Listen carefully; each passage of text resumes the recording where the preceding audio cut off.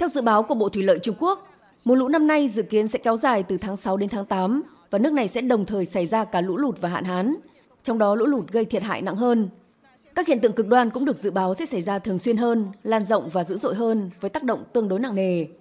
Bộ này cũng cho biết, thời tiết năm nay ở Trung Quốc khá xấu, một số con sông có thể hứng chịu lũ lớn. Những ngày gần đây, một số con sông vừa và nhỏ ở các tỉnh Hải Nam, Quảng Đông và Phúc Kiến có thể hứng chịu lũ lụt vượt mức cảnh báo do mưa lớn trong hai ngày qua. Cơ quan khí tượng thủy văn tỉnh Hồ Nam miền Trung nước này cũng dự báo tỉnh này sẽ có lượng mưa nhiều hơn vào tháng 6, có nơi nhiều hơn khoảng 20%, khiến mực nước các con sông lớn trong tỉnh dâng cao.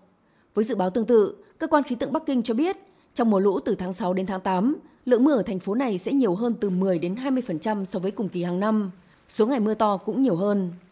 Theo chuyên gia khí tượng Trung Quốc, mùa lũ năm nay, lũ lụt sẽ xảy ra nhiều ở khu vực miền Đông và Nam nước này, trong khi hạn hán sẽ chủ yếu tập trung ở phía Tây và phía Bắc.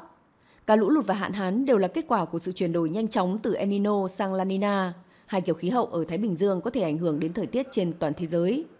Hiện nay, các cơ quan liên quan của Trung Quốc đang theo dõi chặt chẽ lượng mưa, sự thay đổi mực nước, tiến hành tham vấn và đánh giá nhằm tích cực chuẩn bị phòng chống và ứng phó với mưa lớn và lũ lụt.